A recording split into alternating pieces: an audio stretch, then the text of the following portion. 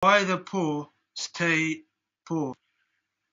They behave like consumers, not savers or investors. They believe money is for the greedy and selfish. They blame other people for their lack of money. They don't get financial education.